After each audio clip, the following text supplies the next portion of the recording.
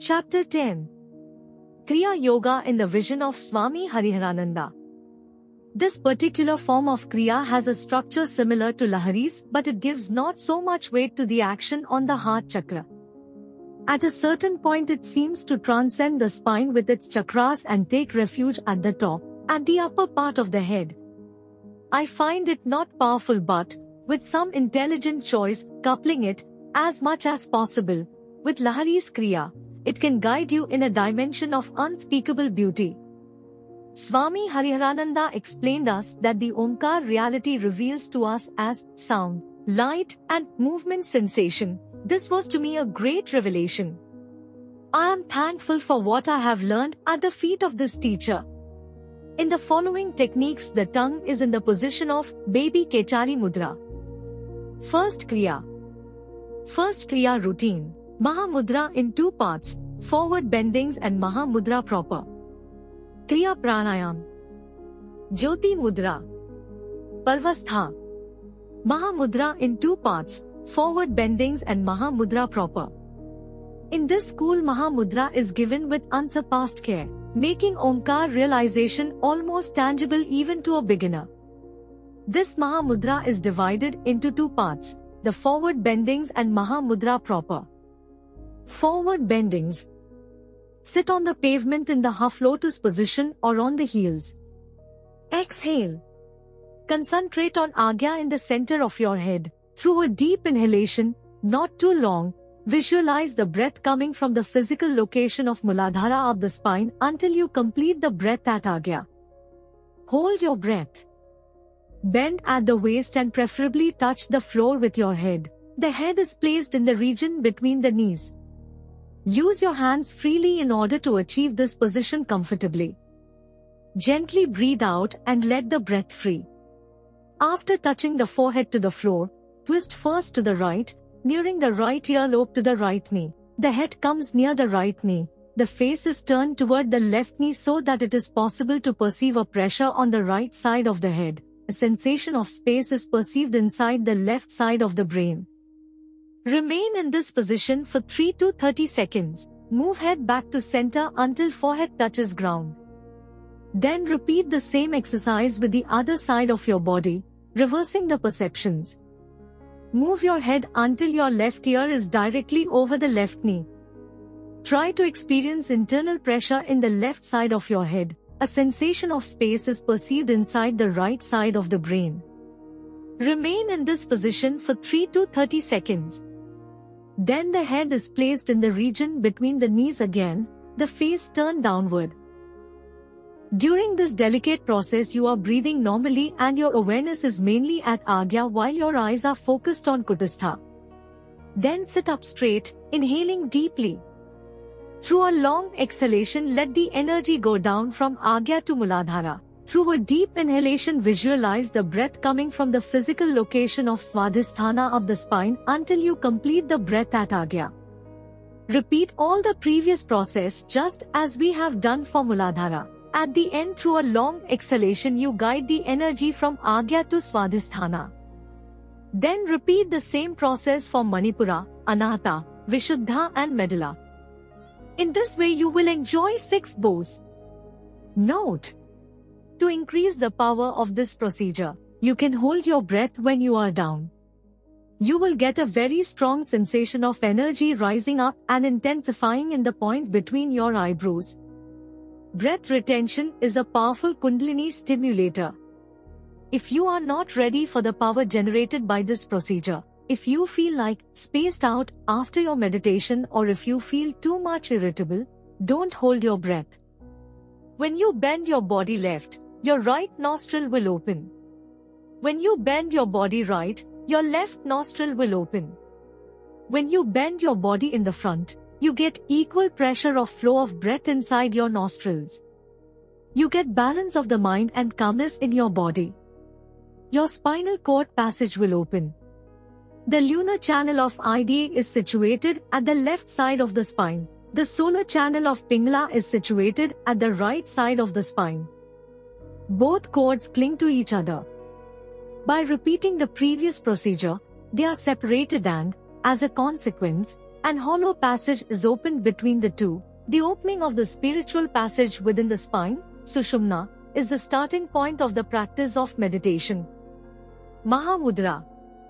Bend the left leg under the body so the left heel is near to the perineum. Draw the right knee against the body so the thigh is as close to the chest as possible. The interlocked fingers are placed just below knee applying pressure to your internal organs. Take 5 to 6 very deep breaths with moderate pressure applied to knee. Then inhale deep and hold, extend the right leg, bow down, breath normally and massage the right leg from the foot to the thigh and hip. Then grasp the right foot in this way. The right hand grabs the right toes while the left hand grabs the inner side of the middle part of the right foot the arch of the foot, the face is turned to the left. You perceive a sensation like an inner pressure on the right side of the head. It contrasts with the free space sensation in the left side of the brain. Chant Om six times in the point between your eyebrows. Then inhale and hold. Sit back up onto your left foot with right knee folded into your chest. Then exhale into normal conscious breathing. Practice the whole procedure by reversing the perceptions and the position of the legs. I won't repeat everything, don't forget the chant of Om six times in the point between your eyebrows. Now, draw both knees against your body. Extend both legs, bow down, breath normally and massage both legs from feet to thighs and hips. Then grasp both feet, right hand to right toes, left hand to left toes. Breathe normally. Flex feet 4 or 5 times then relax with the head down as near to knees as possible. Experience internal pressure on the front part of the head. A sensation of space is perceived inside the occipital region. Chant Om 6 times in the point between your eyebrows. Then inhale, sit up and hold. Massage briefly toes, fold legs back to chest and exhale. As usual, this exercise is repeated three times. Kriya Pranayam. With eyes closed, deeply inhale into fontanelle. Then exhale into Agya. Hold breath for few seconds, 3 to 4. Then inhale up to fontanelle. Hold your breath for few seconds. Then exhale to Vishuddha. Hold for a few seconds then inhale to fontanelle. Hold your breath for few seconds. Then exhale to Anahata and so on. At a certain point you have reached the Muladhara. Hold your breath for few seconds. Then inhale to fontanelle. Now repeat in reverse order. Exhale down from fontanelle to Muladhara. Hold your breath for few seconds. Then inhale to fontanelle. Hold your breath. Then exhale down to Swadhisthana Chakra. Pause, inhale and so on until you exhale down from fontanelle to agya. This is one cycle, 12 breaths. You can repeat the whole cycle for a couple of times. During the pause between inhalation and exhalation, the awareness is in fontanelle, the breath should be held to 2-3 seconds, but after several weeks of pranayam, the time of each pause can be gradually increased up to 30 seconds. This detail is very important to create a deeper calmness.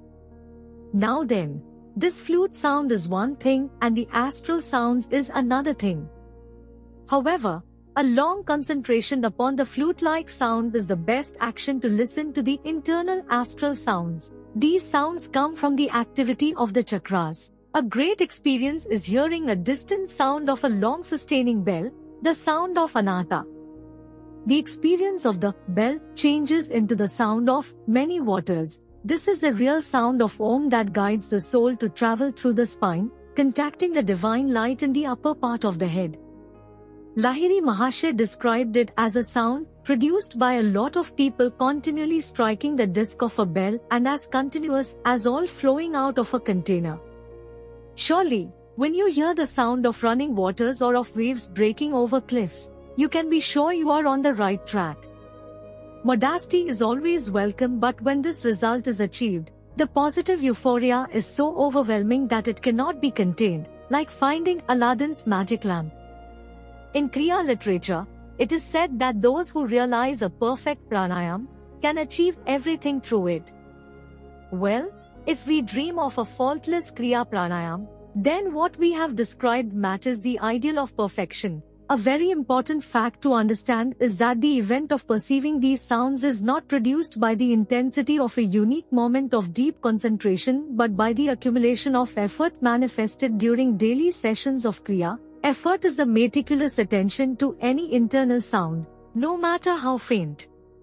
What is essential is to bring ahead a continuous will to listen internally. Each chanting of the syllable Om should be accompanied by an unswerving will to track down the echo of this vibration until you become aware of the astral sounds. Your listening skills will improve. Those who are not able to hear any internal sound should not conclude something is wrong. Maybe they have done an enormous effort whose fruits will be enjoyed during the next day's practice or some day in the future.